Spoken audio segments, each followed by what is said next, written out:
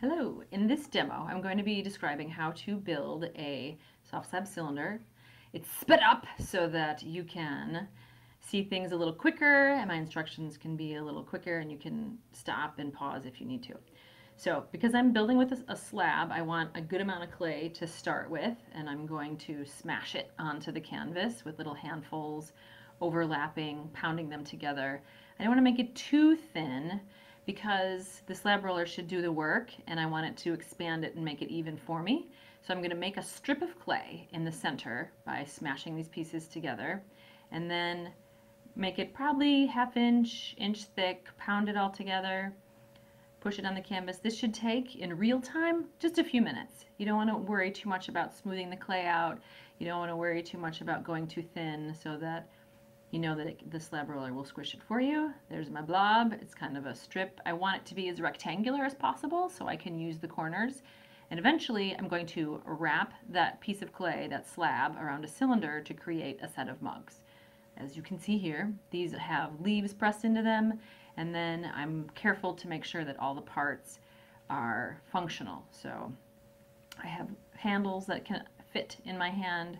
I have a nice uh, level lip so that it doesn't dribble when I take a drink out of it. And I checked my mug against it if I'm going to make another one of this set so that my slab is just a little bit wider. I also like a thin slab for my mug so that it's nice and warm. When I put my coffee in it, my hot chocolate, I can hold on to it like that and I have a nice warm cozy mug to drink out of. So I run this through the slab roller. You can use rolling pins too. I just like the slab roller because it's quick and easy. And I roll it through and I'm about a quarter inch thick for this one. And then when I take it out, I have a nice thin slab. That's more than I need for one cup, but then I have extra. Then I use a T-square, and I use that specifically so I can get right angles. So I go as far as I can to the edge of the slab, slice off the extra, and then I'm going to use the T-square to lean into the clay so it's nice there. And I'm always protecting the side of the clay I want to keep. So I'm going to cut closest to me here so that when I cut the pieces I take off are the pieces I don't want and I'm protecting with the T-square the slab that I want because sometimes it's really easy for the knife to veer off into the clay and mess it up. Now I don't want to mess up my edge that I just made there because I was very careful and cut it um, but I do need to wrap it around the cylinder. Now cardboard cylinders, plastic cylinders, whatever you know you have will work perfectly. The only thing is that clay will stick to them so I'm going to take about two, maybe three sheets of newspaper and I'm going to flatten it and I want to wrap the newspaper around the tube really tight. I want a smooth, even wrap. I don't want any wrinkles or they'll add wrinkles to the inside of my cup and then I don't have a nice smooth cup on the inside. So I can tuck the edges in. I don't even need tape. It's like magic. Voila! There you go. Then I take the cylinder, I put it up against the edge of my clay. I want to make sure the cylinder is level on the bottom. Some of them have a little bit of an angle in my classroom, so make sure it's it's nice and straight. Mm -hmm. Yeah, got that, got that. All right. Then line it up against the bottom edge and line it up against the side so that and then I pick up the whole canvas so I don't mess up my edge and because it's easier to peel the canvas back and protect the slab than it is to pull the slab off because sometimes that canvas having been um, had the clay pressed into it will stick and this is sticking a little bit here. I can take a knife, a fettling knife and just sort of slice underneath there and it's okay if that slab gets messed up as I'm doing it because I'm gonna fix it up as I come around. I don't mind little cracks in it. That happens often because I'm asking the clay to curve quite a bit. So I slide it around, I get the extra off, and as soon as it overlaps, I'm to press it into the clay. All right, so now I have my tube. We're to speed up even a little faster here because some of there's important parts in this next part.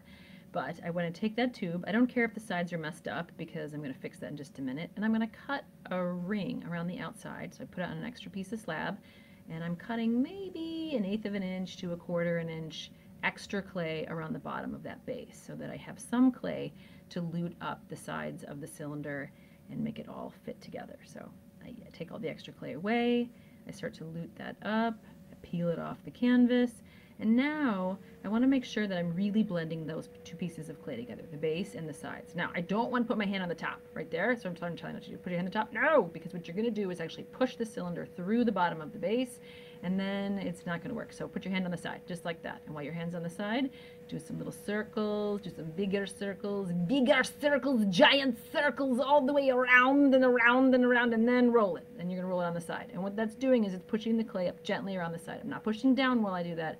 I'm just making some circles with the clay. Then I'm going to take my serrated rib. I'm going to lute across any cracks, any seams I have along the side, and I'm also going to lute up any of the extra clay along the bottom because I want a nice straight cylinder. I don't want a blob of clay along the bottom. So I do actually end up removing some of the clay as I'm pulling it up from the bottom.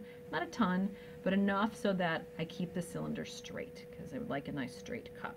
So I come all the way around, get the cylinder nice and straight, and then I can curve the serrated rib, flip it around in my hand so the smooth side is now against the clay. I lute the clay up along the side. I don't want to see any canvas texture. I don't want to see any rough texture. My surface isn't perfect, but I'm kind of giving myself a nice canvas to add decorations and things later.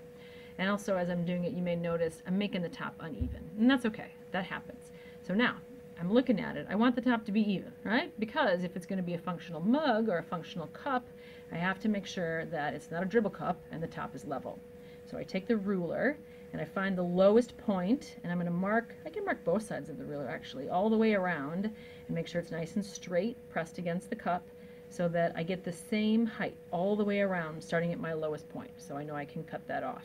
And then I'm going to take my ruler because it's a nice straight edge and I'm going to push that into the surface of the clay and as that goes around if we were a little more zoomed in we could see that there's a nice line there. Now this clay is pretty soft so I'm not going to cut it today. I'm going to wait a day so it can dry out a little bit and then I will cut it the rest of the way because I really need it to be a nice level top to make it a functional cup. I'm going to use a fettling knife, a smooth thin fettling knife to make that cut, not sawing at it but one smooth cut. Now, here's what's happening. I have a cardboard tube in there and some newspaper, and it's absorbing moisture from the clay. If I want to take it out, oh my god, it's not coming, it won't come out, ah, what do I do? Well, that's because the newspaper and the cardboard is expanding and the clay is shrinking because it's drying. Oh, actually it was a plastic tube, sorry about that. So, voila, it was magic. Did you see the magic? I took it out, magic it came out. That's why we wrap the tube in newspaper. I can kind of tuck that in. I'm going to leave the newspaper in overnight so it gets it leather hard and then tomorrow I can work with it more easily. Great time to work on the surface when it's a little bit drier. Um, and then I, I, I, get anxious, you know, I just, I want it to be level. Nope, not a good idea. Not a good idea. It's too gooey, but you can see I would slice with a fettling knife around like that. So now I have that. I take a flat ended loop tool to cut in my slight base edge because I know where to stop my glaze if I have a little edge right there, but not very far in because I don't want to weaken my seam right there. So it's resting on the table. I loop that around. I have my cylinder. I am happy for today and I think it's all done and I am done and there is the cylinder and I can design. Thank you. That is it. I guess it's not it. It's still going. There's a cylinder. I want the inside smooth, the top level, and a handle I can and hold on to so it's functional. Mm -hmm. Functional cylinder. Okay, there you go.